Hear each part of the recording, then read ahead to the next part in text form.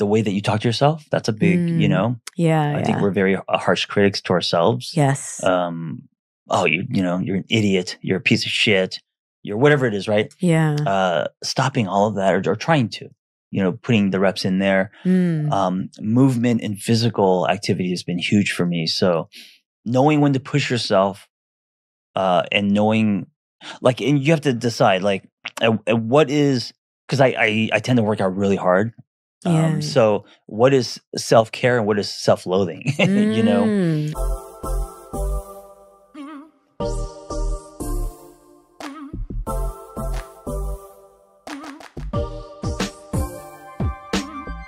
Welcome to ABG, Asian Boss Girl, a podcast for the modern day Asian American woman. My name is Janet, and I co host this show with Helen and Mel.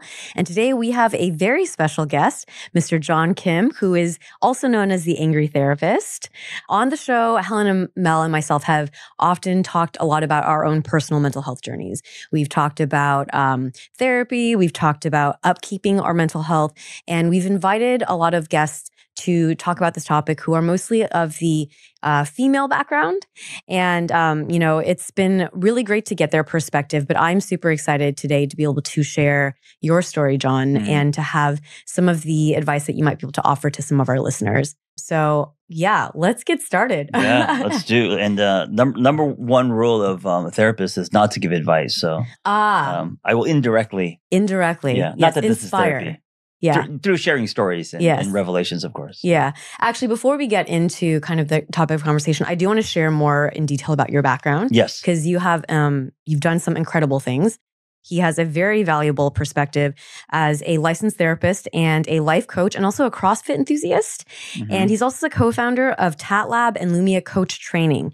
And not only that, but also the best-selling author of books like I Used to Be a Miserable Fuck and Every Man's Guide to a Meaningful Life and Single on Purpose, Redefine Everything, Find Yourself First. Um, I have recently gone through a breakup, so Oh. I very much resonate. oh, okay. I should have brought you my book. After going through a divorce, uh, John actually launched a blog in 2010 that documented his self development journey. That attracted his first coaching clients, and he quickly built a community, both online and offline, of people who valued his vulnerable, frank approach to life and self improvement.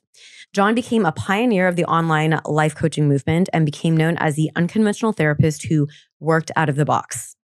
Today, John's work helps people in a multitude of ways through a variety of channels. Um, he hosts in person retreats, online courses, books, YouTube, and even daily life insight texts, which um, I think is an, is an incredible approach or thing to offer to individuals. he co authored the book, It's Not Me, It's You Break the Blame Cycle Relationship Better with his um, partner and fellow therapist, Vanessa Bennett. Um, so that's a little bit about all of the things that you've done. Yeah. And uh, I'm curious though, before getting into all of this work with the Angry Therapist, uh, can you share with our listeners a little bit about your background? How did you grow up?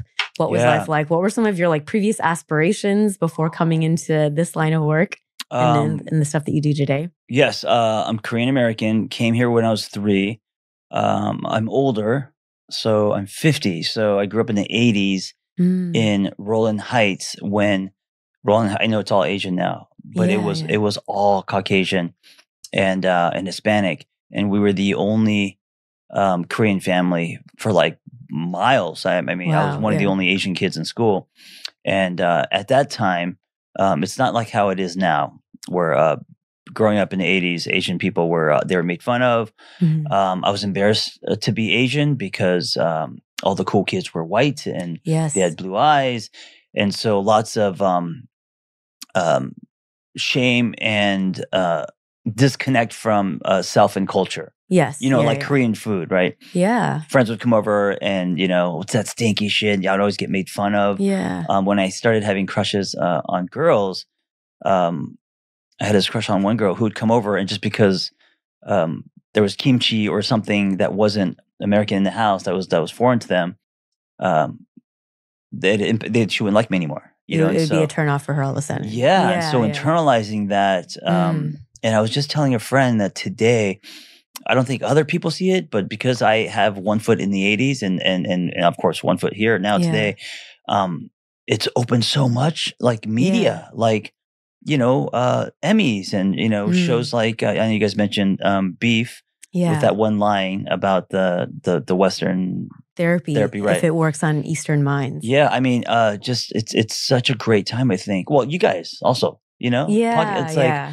it's um, it's not how I grew up, so it's uh, Yeah. yeah, Thank you for sharing that. I mean, I resonate with your story in the way that um, I grew up also in a mostly Caucasian community, Mm, um, more Orange County area Okay. near Capistrano Valley, yeah, yeah. Um, and so or south of south of Irvine. So there's definitely enclaves of like Asian communities. right, Um, and I grew up. I'm a child of like more of like maybe the 90s and, and 2000s. okay, um, but very much of that mindset of like, um, or actually, I feel like the period that I grew up, it was actually more about embracing all of like different Mm, ethnicities. yeah, yeah, And so it was a little bit more of a, a mental twist for me because I felt like I was being told that I am equal. And Mhm. yet you pick up on kind of nuanced ways that people might look at you differently, right? Right, like even right. just a slight nuance, like children don't know they come to your house, they might react negatively to something yeah, and Yeah. um, they're not trying to to make you feel othered, but you do, and then you're in your mind thinking, "Wait, but I, I'm being told at school and in my Mhm. community that I am just the same as everyone else." So Yeah. sometimes it gets a little bit,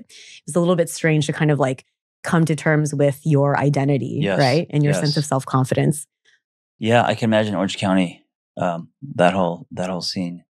But in the '90s, uh, this is, uh, I mean, th- like movies like the Fast and Furious have already already come out, right? They had, so it wasn't yeah. it wasn't like it was, yeah, like um uh who's the guy uh, this is really way back but um they they used to tape um white people used to tape their eyes back to play asian people like Yeah, like that yeah, kind of stuff jerry Yeah. lewis kind of stuff you know Mm, yeah, um that's before my generation but but me kind of growing up in the the the residue byproduct of that right, that world, right. you know? Yeah, tell me a little bit more about that. Like, I mean, you shared a bit of the the color on that, but like, what are some experiences that you had as a child that really impacted? i got really lucky i don't know about you but i got really lucky um it seemed like when i was growing up they let one asian kid into the cool cool, cool group. Mm, so you were Um, the cool Asian kid. and but you had to Yeah. you had to um um be able to do something. So Mm. i skated. You know i was the f- the first kid to uh, pop a wheelie uh, around my entire block. I was a break dancer. So um i'm into um very physical stuff you Yeah, know, like yeah. riding motorcycles and dirt bikes and stuff. And so as a kid that really helped me because it got me um from not being bullied Mm, you know, I see. I see. yeah but the asians around me were all getting beat up and Mm. bullied and yeah it was horrible you know And but that that inner child of you, that kind of or that type of like identity, Mhm. um, how I guess describing kind of from that, and then as you go into um, like developing into later adulthood and Yes. everything, how how did all of that kind of like change or shift for you? Yeah, this is a great uh, segue. I think as we grow up and life happens, and you know we get into relationships, we you know get married, have kids, all that kind of stuff, chase the corner office. Office, um, we start disconnecting with that um, what I call the the the, the solid self, right, the Mm. authentic self, and um, we start living with a lot of shoulds. Like we should Right, right. dress this way or be this way. Um, so after my divorce, the first question I asked myself was, um, what would it look like to connect to that 10 year old again? You know, Mm, the one that was yeah. breakdancing and felt free. And um, did I lose a, that connection, that relationship with myself? Mm, And so I started there. And, um, you know, I was freshly divorced. Uh, I didn't have a job. I was broke. I was just, I mean, really like just getting on Craigslist, finding a roommate, starting all over at 35 yeah. and I and you know sometimes when you have nothing, it's it's easier because you have nothing to lose. I totally agree with that. Yeah, yeah. And so I started with that question, and then I started to pull from what would it look like to pull from that that solid self, Mm. and then every decision decision I made. So whether it was um, um, my relationships or what I wanted for lunch, you know. Mm.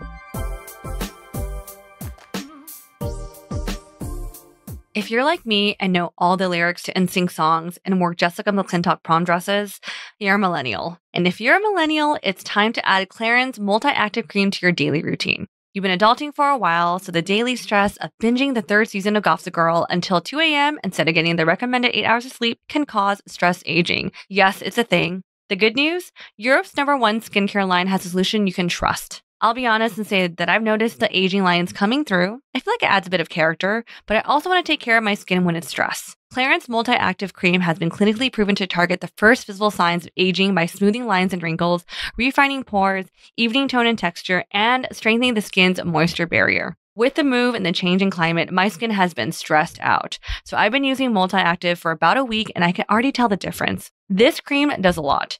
It makes my fine lines look smaller, refines my skin's texture, and gives me the 24 hour hydration, even though the heater is blasting. Go to clarins.com slash ABG and get multi-active day and night cream for 10% off, a free welcome gift, plus free shipping on your first order. That's C-L-A-R-I-N-S dot com slash ABG with promo code ABG. Clarins.com slash ABG with promo code ABG. So everything from the simple to the big questions, Mhm. like, um, I mean, how did you identify that the of, of going back to that inner person? Like, what I imagine when all of these things are happening in your Yeah. life externally, Yeah. it kind of can feel like there's so much going on, Sure. and you don't really know what to anchor to or how to. It's know. usually the quiet whisper because we usually ignore it, right? Mm. The the thundering voice is our pseudo self. That's the the the side of us that's like, you know, uh, the the the clock is ticking. You need to get married. You need to have Mm. kids, or um, go for the job that has the four hundred one k, or you know, right, right. it's a lot of uh, structured logic, left brain, yeah. and also like you know, um, having Asian parents, like old school Asian parents, um, who want you to be quote unquote successful, and to them, it's you know, doctor, lawyer right, right. right? Um, marry a Korean woman and you know babies and all that. But it wasn't honest to me. So uh, ignoring the thundering voices because that's what we're used to listening to, and then seeing if you can actually start listening to the the quiet voice, Mm. which is hard to do. It is, scary. yeah. Yeah. How like are there some I guess like key moments that you remember that helped you listen to that voice? Yeah. Well, uh, the first thing I did was um, I bought a motorcycle. Mm. and um, it had meaning because um, everyone I've been with romantically said no, which is fine. I get it; they're dangerous. Uh, in the '80s, my parents said no. Uh, dirt bikes are dangerous. Um, I just got no my entire life, but I was a Mm. kid who, on a little scooter, felt the most free, Mm. and um, I love machines, and I it, it just really you Mm. know, and I've always wanted one. So when I got a divorce, I was like, "Fuck it, no one's gonna tell me no." yeah, I'm yeah. 35. I'm sending my parents a voicemail. I'm going to buy a motorcycle. And so I spent a lot of time um, streets of K Town and all over all over LA, um, just writing this thing. Yeah. And what's interesting is it's kind of a meditation machine because you got to be really present or you're, you're going to die. Yeah, yeah. So you're hitting flow states, you're Mm. calming your, your nervous system, and you're alone. So it's like you're Mm. almost establishing a relationship with yourself. Right, right. So I, I tell people I found myself through motorcycles. Um, I, I discovered fitness, CrossFit, so motorcycles, barbells, and then I say donuts just because allowing yourself to have a treat once in a while. Yeah, yeah, yeah. The thing that I kind of tied or that I really like that stood out to me in your story was when there's so much going on to be able to cling on to the thing that maybe you felt the most resistance from outside Mm. people to. Mhm. Um, and was then is the kind of the thing that you went towards Yeah. that you felt the strongest internal pull from, but you got the most resistant externally from. Yes. And when you have the courage to listen to that quiet whisper and actually put action behind it, um, there's a reunion. Mm, You know, there's a reunion because I think when we're kids, that quiet whisper is actually the loudest mm, because right, you're not right. tainted yet. yes. you're not approval seeking you're just you know eating ants and and the day is wide and you're curious about everything and you're playful and you're not Yeah. you know and then as we grow up um we get hurt and then Mm. we you know there's consequences and we got to pay taxes all this stuff happens and i think we start living um outside in instead of inside out Mm, outside in instead of inside out. yeah That's um, I really like that statement. yeah especially i think asians because of our parents yeah. yeah yeah So you, I like that you said um, you sent your parents to voicemail. yes, How did how like how really did that conversation kind of happen, or what was that dynamic like when you're Um, going through these shifts? My dad was an alcoholic and very dependent, codependent on his two sons. Mm, Um, I got lucky because I was the youngest, so I got to go play while my brother at like 14 was, you know, uh, sorting out mail and helping my my parents Mm. um, pay bills and all that. And so, uh, my dad would call us um, nine one tech, uh, back when pages were around, pages nine one one.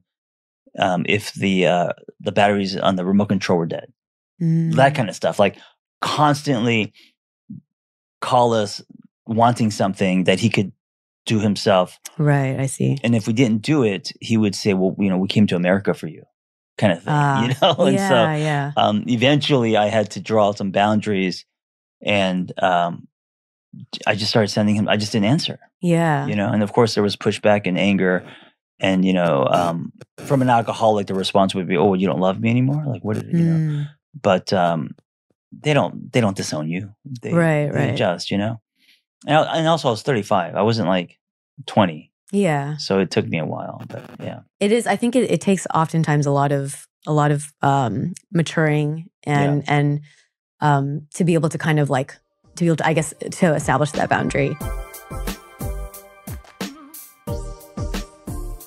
It's crazy how the smallest actions can have the greatest impact. Whether it's the ending statement of have a good weekend to your cashier to just making your bed in the morning, it all enhances your mood. Again, small actions can have big benefits, like how you take care of your gut can support whole body health. I shared my gut issues over a handful of times on the podcast by now, but just as a refresher, I've been intentionally changing my diet and habits to support my gut because it wasn't very happy. I'll spare you all the TMI details. And one habit I've been implementing is taking Seed's DS-01 Daily Synbiotic, and wow, it helps so much. I have less digestion issues and I go regularly now, which was my biggest struggle. Also, I don't know about you, but my digestion always acts up when I'm traveling. So I bought the Daily Synbiotic with me and it changed the game. I no longer was backed up or constipated and I could just go. Seed is very much part of my daily morning routine. I take it first thing in the morning after I wake up, along with my other daily vitamins. And there's a reason why you see seed everywhere. It's used and loved by so many. I personally feel like they did all the thorough research and scientific testing to assure results. Again, your body is an ecosystem and great health starts in the gut. Trust your gut with Seed's DS-01 Daily Synbiotic. Go to seed.com slash ABG and use code 25ABG to get 25% off your first month. That's 25% off your first month of Seed's DS-01 Daily Synbiotic at seed.com slash ABG,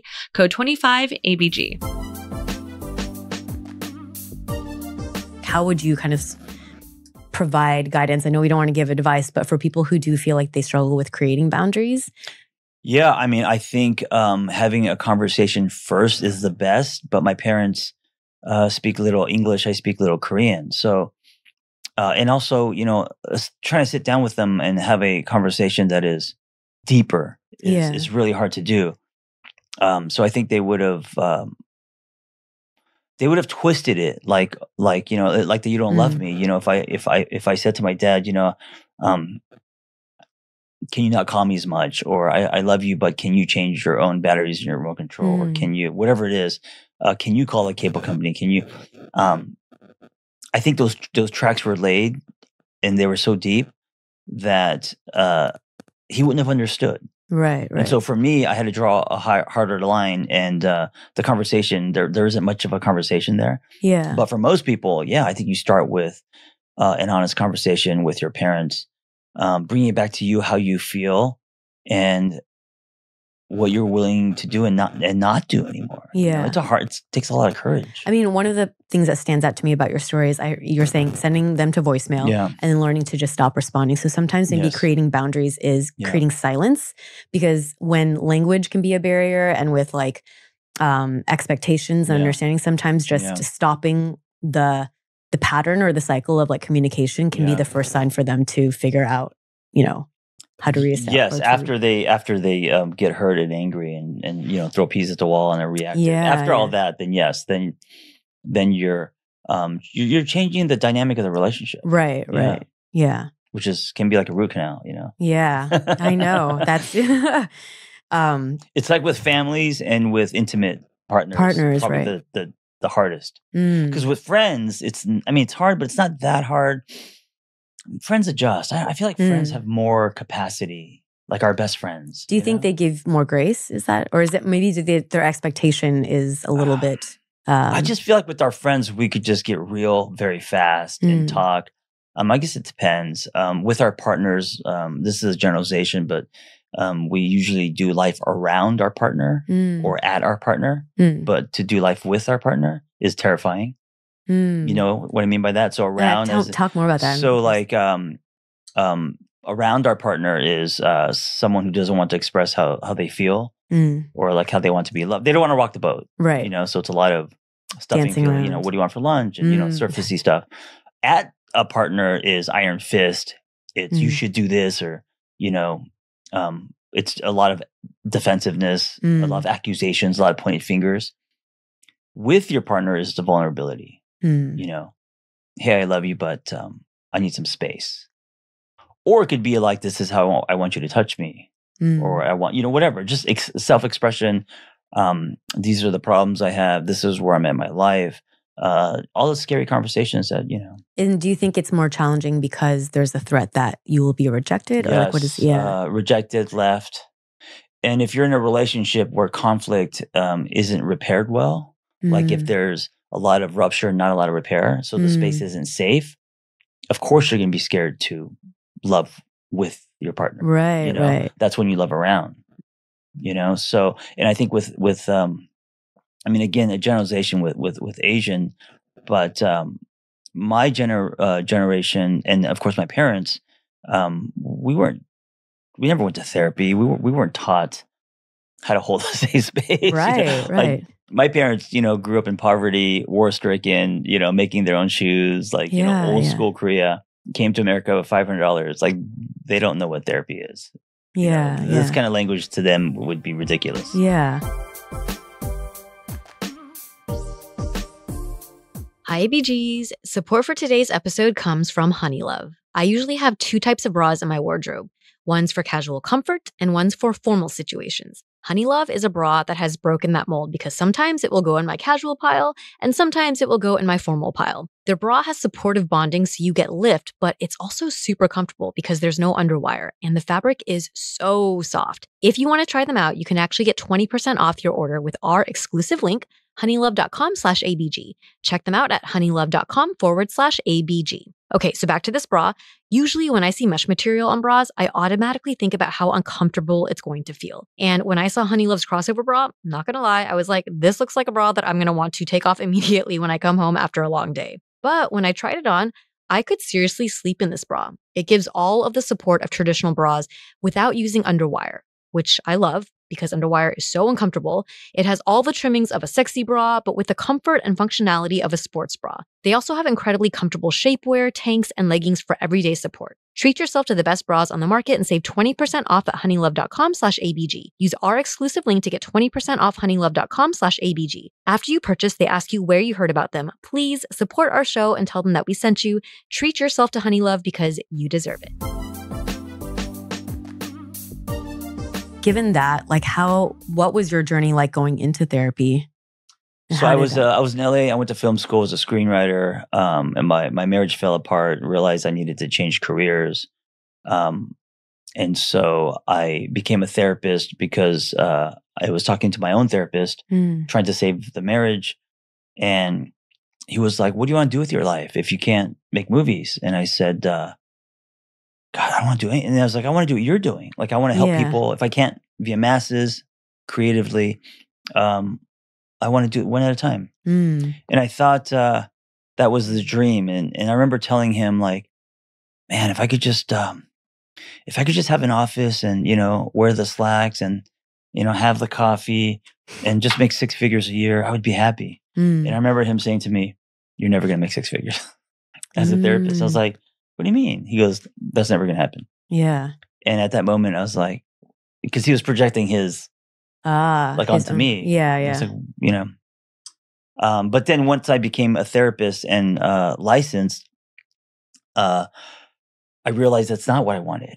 Mm. So that wasn't me to sit in an office in a nondescript office with bad art and just talk about like I tried it. Yeah, I tried tucking my shirt in, yeah. and uh, um, I, I did everything from working in um, high end treatment centers in Malibu Mm. to um, having private practice and all this.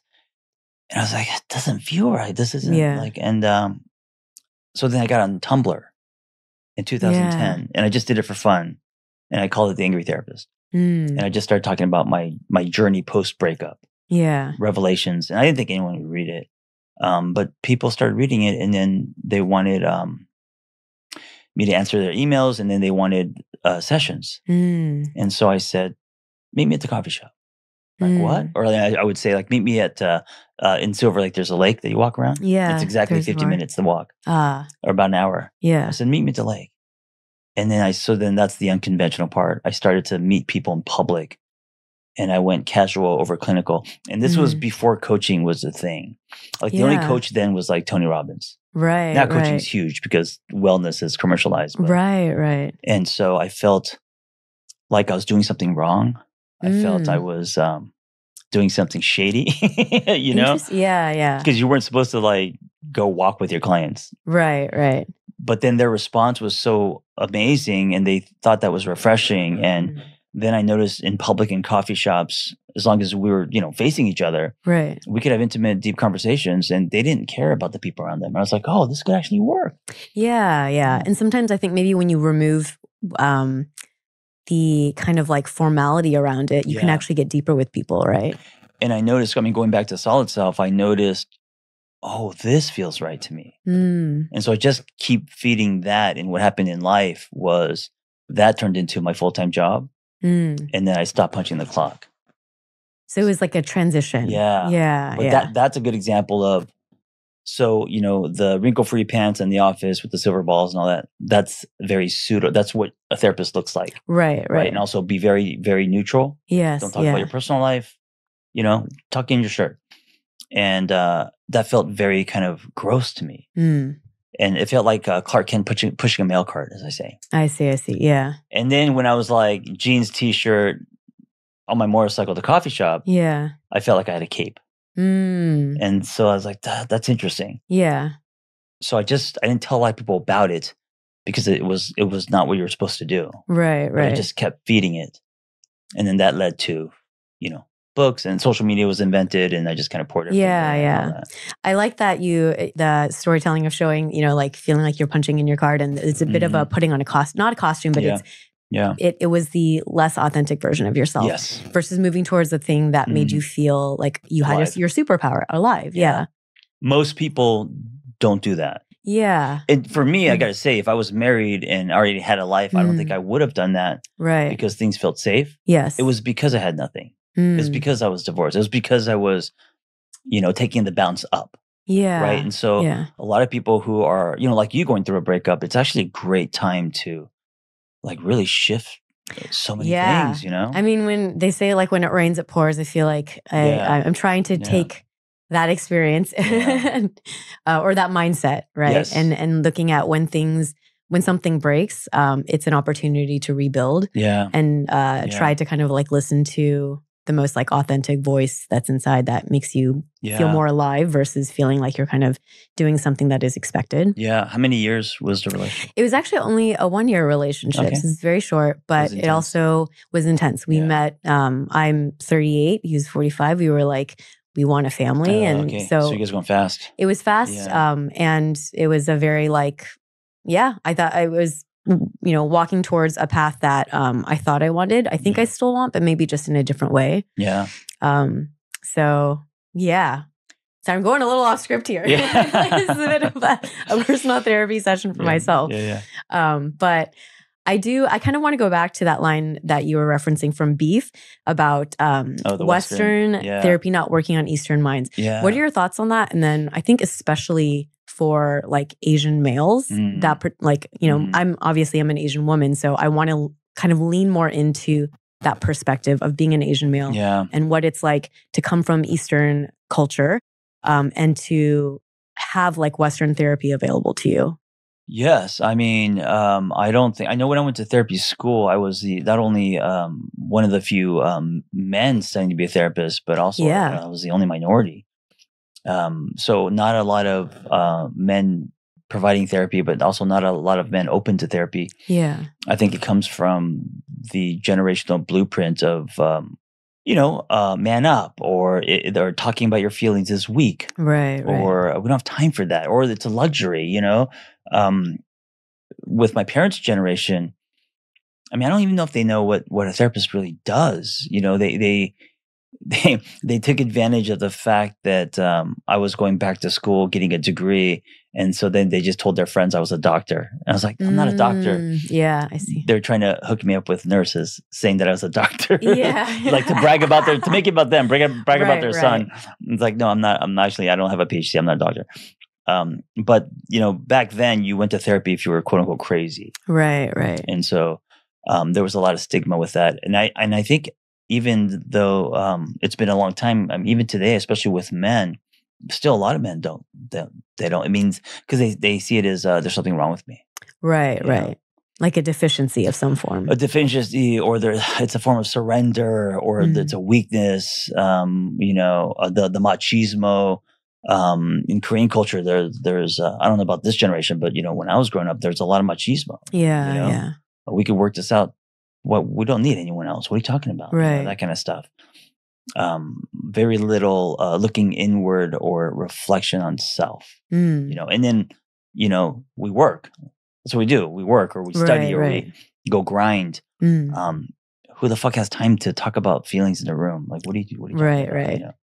I mean, what for the generation of people who might be listening, Mm-hmm. um, if someone is having those thoughts going through their mind, like what would you what would you offer? Or if they're if they are not in maybe feeling the most um, in the best place Mm. and they feel resistance to to seeking help in any way. Well, I think luckily today, um, because it just it's not like the therapist isn't the only choice. Right. Yeah. Um, for example, the explosion of coaches, right? So there's dating coaches, there's divorce recovery coaches, there's you know coach uh, coaches with business addiction. There, there's bridges now, Mm. or they could go into some form of um, you know ice exposure, well something wellness, a retreat Mm. can be a bridge, right. and right. then they have some kind of experience uh, at the retreat, and they're like, oh, now maybe I'm gonna be ready for a therapist. So if you're not ready for a therapist now, there might be other things you can do that makes you feel um, more comfortable right. like an right. active thing. Yeah. So like a retreat or one of the things that it's it's just uh, that's very therapeutic for me is going um, on a dirt bike trip with uh, twelve other men. Mm. Yeah. Because what happens is conversations happen Right. over the right. campfire, and it can actually be very therapeutic. Yes. Yeah. You know? I like I mean offering that it's it's reframing our mindset around what therapy is and yeah. um, if you're saying like seeking wellness practices, seeking coaches, Mhm. to me that just means if you're feeling somewhat like disconnected with yourself, like what are activities that you can do to help feel more connected? I mean, way, right? starting Or- with the the first step of the the shallow end of the pool would be just journaling. yeah, Okay, yeah, just write shit down then. yeah, You know.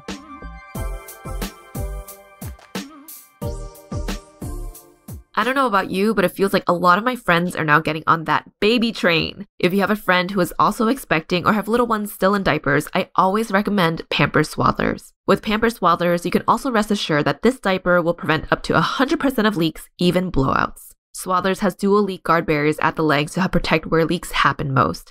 And they have a blowout barrier, which is an innovative back pocket built into the diaper to help prevent those messy leaks up the back. Did you know that on average, babies will use up to 8,000 plus diapers before becoming potty trained? That is a lot. That's why Pampers Diaper Stash is the hottest baby gift for 2024. So give a gift to a loved one that says, We see you and we've got you. Pampers Diaper Stash is an online diaper fund that all parents with little ones will love. You can organize friends and family to contribute to a group gift of an online stockpile that never has to run out. Pampers Diaper Stash is great because it takes the guesswork out of choosing what size and how many diapers to gift. It's so easy to do, and it's the gift that always fits. Do you find, I mean, for you, you said it was like the motorcycle, but are there kind of these like more like traditional therapy approaches or things that you would like? What are some exercises or tasks that for you are helpful? Uh, for me, uh, a lot of getting out of.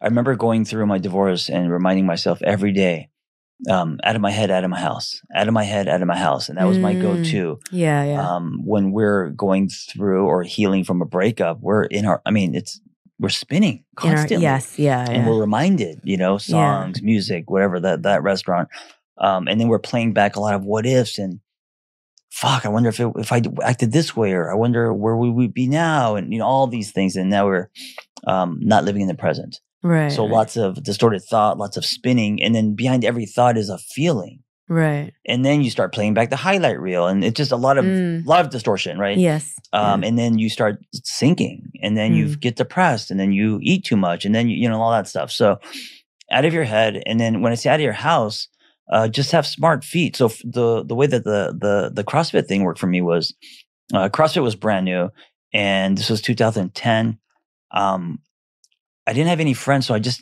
I, I needed to go somewhere, and and and, and CrossFit had a, a building community, right? So yeah. any place where there's a community, so whether that's rock climbing or yoga, or Yoga is my jam. yeah, is- yoga's your jam. Uh, anything where um, if you can just get there, it's the structure of it that one hour Mhm. uh, plus friends or anything. The energy of that will carry you. Mm. So just get there. Yeah, And so I always thought, okay, out of my house, out of my head.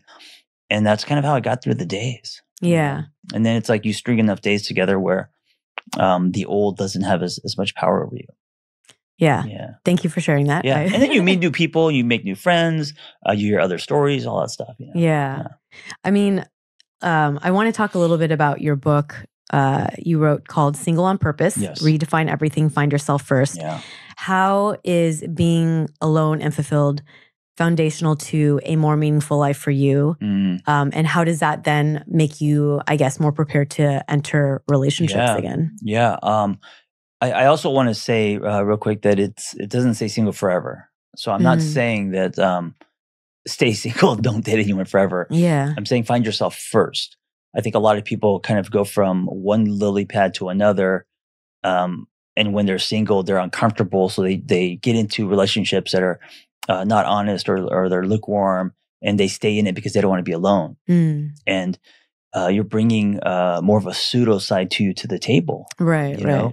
And so being single, and when I was single, I think I spent about five years, as they say, dating myself. Yeah. You know, I got busy trying to discover who, who I am, what I like, uh, getting comfortable with self, and uh, it, it took time. Yeah. You know, What are some ways that we can offer for people? Um, and I know it's like it's going to be different for everyone, yeah, right? yeah, yeah, But like some of the ways in, like when we think about dating ourselves, like how do we how do we get to a place where we feel good about ourselves? How do Mhm. we be able to feel that we're attractive, that we're like a worthy individual, Yeah. and we Um, know I, what we have to offer?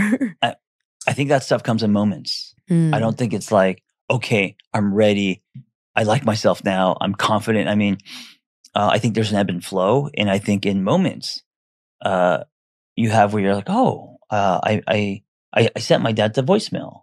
Mm. or I um called in sick because I'm taking care of myself, or I spent money on that trip to go by myself, or Mm. I bought a motorcycle, or I did things for me. I got the tattoo, or I asked someone out, yeah, yeah, you know, or I told this person how I wanted to be touched, or whatever it is. Like it comes in moments where um you are respecting yourself, you're giving yourself what you need. Um, I think there's also kind of like the it's like this idea of reparenting yourself Mm. you know the the inner child work know? Yeah. yeah I, I like that you focus on moments um, because I think oftentimes in when we think about like, oh, I need to change things up, or like I need Yeah. to shift everything about this habit, this thing that I do every day, Yeah. or I'm going to yeah do um, like a uh, like run a mar- like a big thing or something extreme like that. things extreme things, or like really like long term big habit changes. But yeah I like that it can be a very simple like sending someone to voicemail yeah is a small way and um, it's like um, an absence of an action really right Yes. but that yes that can be a big way to take and, care of and i think it's the um it's the little things that become big right? Mm. so it's moments like that where you realize oh that i am different or that i have some courage or that i do Mm. like myself. Um i still have insecurities. I'm still on a journey and, I, and i'm 50 you know? Um but i'm definitely a lot more me uh, because i've allowed myself to be me but also i've put the reps in right. you know? Um, i think it's a daily practice. It's kind of sad to even say it's a daily practice to be you like but it's, it's, very real. Yeah, Yeah, actually i want to go back to that. What it, when you say you put the reps in what is what does that mean exactly? All the decisions every day. So like the, the sending your, Mm. your parents a voicemail buying a motorcycle. Um, i went to italy alone you know Wow, and, and yeah. before i used to think that was a waste of money. Like oh, Mm, you do that when you're successful. I but i've never right, traveled right, so i gave myself that you gave Um, yourself the permission to permission. yeah. Um, every friday i i uh, i i started this thing called fuck it friday fuck it fridays So every I like Friday. I, I give myself something that I feel like I deserve. So that could be the donut, or it could be like I'm going to the beach, or it Mm. Could be you know whatever, right? Uh, the way that you talk to yourself, that's a big, you Mm. know. yeah I yeah. think we're very uh, harsh critics to ourselves. yes Um, oh, you you know, you're an idiot. You're a piece of shit. You're whatever it is, right? yeah Uh, stopping all of that or, or trying to. You know, putting the reps in there. Mm. Um, movement and physical activity has been huge for me. So knowing when to push yourself, uh, and knowing like, and you have to decide like, uh, what is because I, I I tend to work out really hard. Yeah. Um, so what is self care and what is self loathing? you know, Mm. Ah, So it that's d- a really yeah. important distinction Are you punishing yourself, or are you challenging yourself? yeah. you know. How like what's what's like a an example of the last time where you realized, oh, I think like maybe you went Yeah. into it thinking this is a self care routine and you're realizing Oh, this it is happens all the time. Um, so the thing about uh, uh, CrossFit is that there's a scoreboard and everything's for Mm. time and it's very competitive. yeah. So um, that could get dangerous. So I could do something strictly uh, for the scoreboard Yeah. uh, as opposed to for what I think is good for me. Ah, So, okay. yes, so it's the so- intention or where your mind is at when you're doing the, the yeah, activity. and you know, some days I think, uh, realistically, some days um, um, you're going to do things that are uh, uh, might not be good for you. right, You know, right. uh, pushing yourself too hard. Mm. um, lifting a weight that could have hurt you, like all of that, you know. And then um, some days it's going to be very good for you, and I think it's cumulative. Mm. I don't think it's like judging every day. right. so I right. think it's all about kind of um, awareness and Mm. non-judgment. Oh, that's I just realized I was very competitive. Um, I did this workout just to try to get on the leaderboard. Not it wasn't really for me. right. Just right. noticing it, Mm. and then you deciding if tomorrow you want that same experience or not. You know, and how Mm. that affects you. I like that. I like that. Yeah. I definitely I, I resonate a lot with sometimes having that harsh voice in your head Yeah. and even just realizing that that's what's happening Yeah. can be very challenging but the moment you realize it to not then get more down on yourself for having that voice Yeah. but just to see well tomorrow then i'm going to change it and that's small once again it's like maybe the absence of an action the absence of doing that, that Do you think form. with um, Asian parents it's more predominant? I mean, you know, I mean, since you know, straight A's, yeah good grades, great college, um, and I was the kid that uh, was a C student, horrible grades, and so uh, they. I mean, I remember since I was ten, uh, spinning on my head, they would throw books at me saying, "You have to get good grades. You have to get yeah. good grades."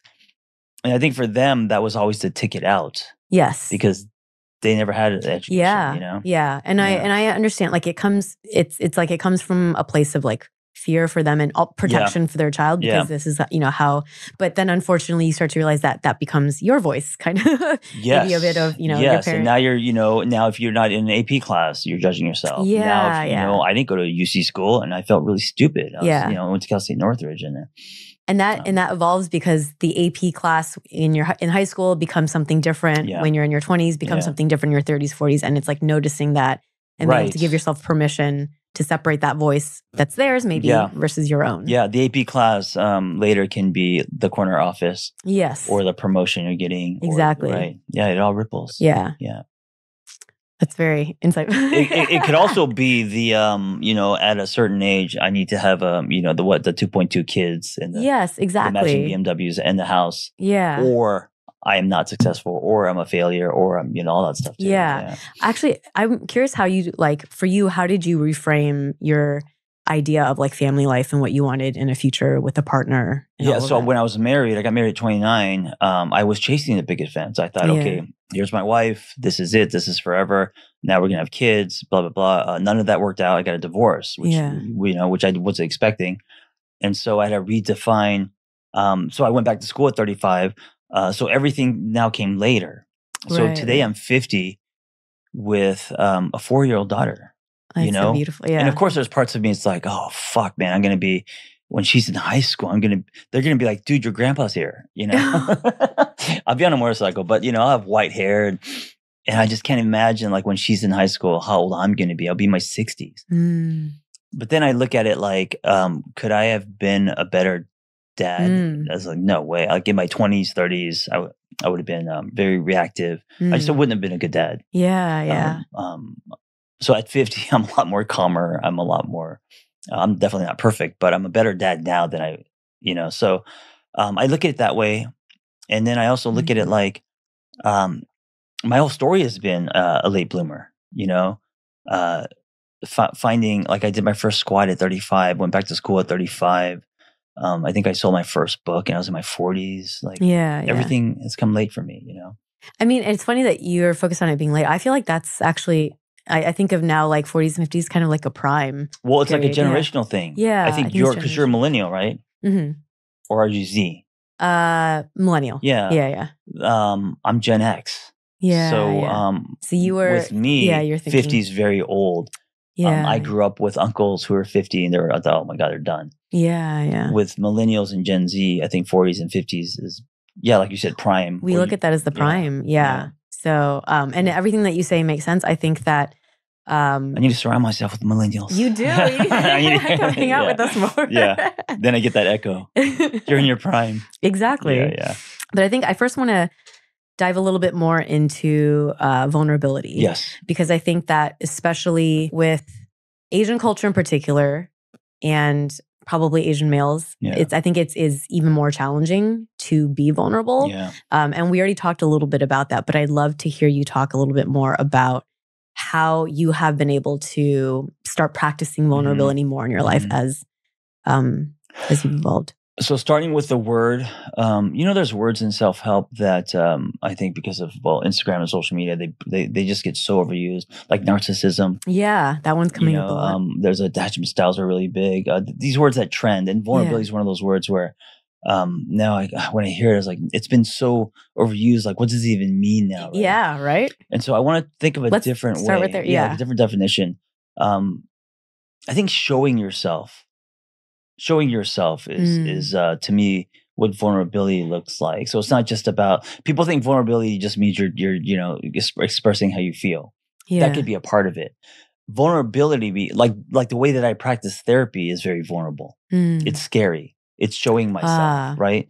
Um, getting a tattoo because it means something to you Mm. um, against um, or a certain tattoo that you think people may not like, that can be vulnerable, Mm. right? Getting on a motorcycle is vulnerable. Right. So it's not just expressing how you feel, be Right. vulnerable, tell us how you feel. Of course, that's obvious. right. right. Um, but how you show up in the world, how you show yourself, um, not br- breaking promises you've made to you, Mm. is vulnerable. yeah. you know? I mean, all of those the pattern I'm seeing in the examples that you gave is like where there's some potential of you getting hurt Mhm, or um, where there might be a sense of fear mhm. and then being able to kind of like step over that. Yes, one thing um, I've said uh, um, many times earlier uh, in my life was um, I, I, I I love these promises that you make to yourself after an expired relationship. I call them expired relationships instead of Mm. breakups. And one of them is to not exchange uh, your truth for membership. Mm. So whatever that membership is, to Yeah, not yeah. exchange your truth.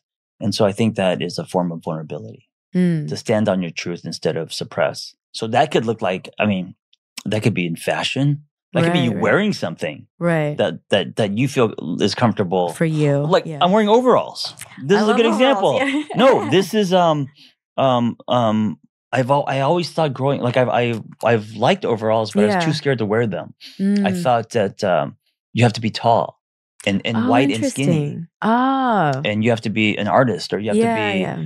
And so um a, a year ago I got these and I was like, "Fuck, should I wear these?" And then I, put them on and Yeah. I had to go through that whole thing, like, oh, Yeah, like I'm scared. Do I go outside? I feel like an, uh, like a, like a, I feel like I look like Willy Wonka. What, you know what I'm saying?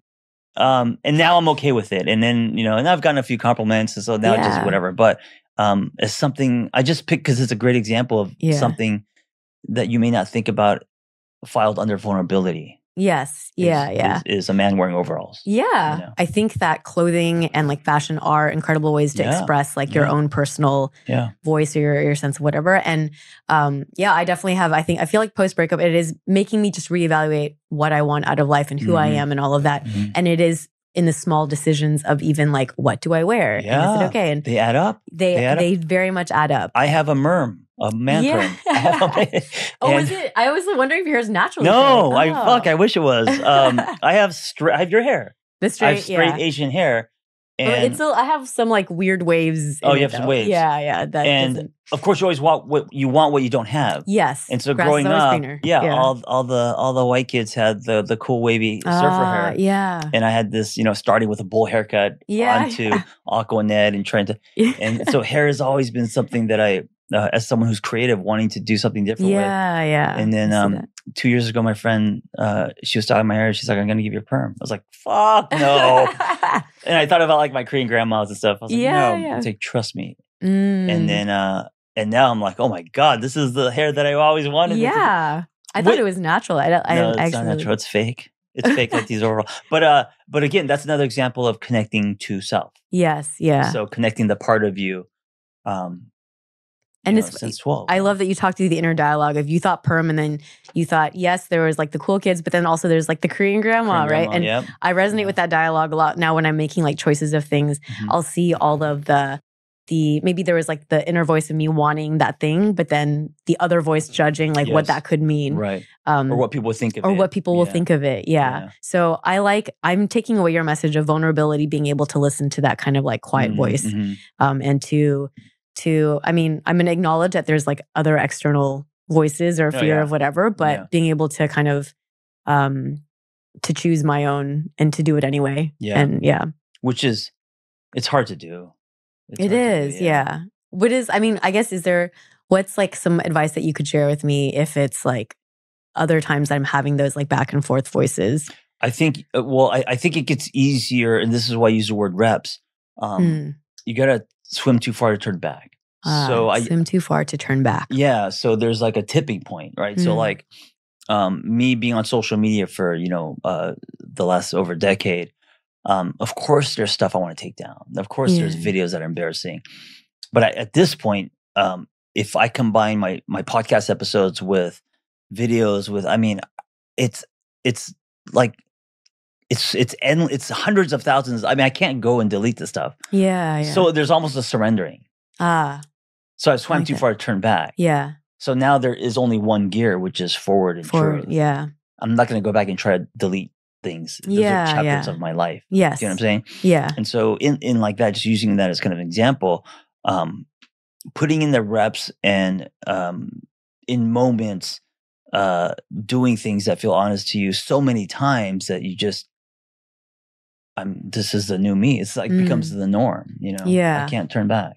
I like that. That. swum too far. Swim far enough so that I can't turn back. Yeah. Like Yeah. going to the island is closer than going back home. Yes. Okay. Okay. Yeah. I'm trying to think in my mind, like, what are what are those things for me? Um, yeah, and maybe for our our uh, viewers and our listeners too, to think about what for you, if you're going through something, is is that thing that you can do where you're Mhm. swimming further, hmm far enough so that it's hard to come back Yeah. And to yeah. make the or you don't give yourself a choice. I mean, your guys' story with this podcast may be one where you started it, and then there, were- you know, after a certain amount of episodes and ups and downs or whatever, you guys were like, "Dude, we've done so much of this. There's Yeah. only there's no Only choice but to go forward. To move forward. Yeah. Yeah. There might be different, Yeah. but we're not going back. Yes. You know, yeah. we're not taking it down. yes. Yeah. Yeah. Yeah. Yeah. Thank you so much, John, for being here with us today. Yeah, of course. Um, is there anything else that you want to share with our our viewers? Any parting words? No, I just love um, you know the the uh, the experience here that I'm having that I um uh, wanted to give myself, and also why I wanted to be here. Um, your podcast is, although it's not just for Asian people, yeah. it hangs on. I mean, Asians in your top in your in the title of your podcast, and someone who grew up pushing that away Mm, and being embarrassed and not embracing my own culture yeah. and and and uh, being on something like this makes me, uh, in a strange way, connect back to self.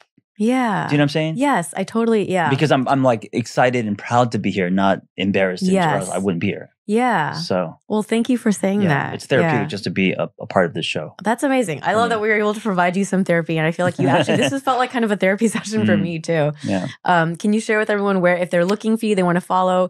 What are anything that you Uh, want to share with anyone? Yeah, just um across the board, the angry therapist.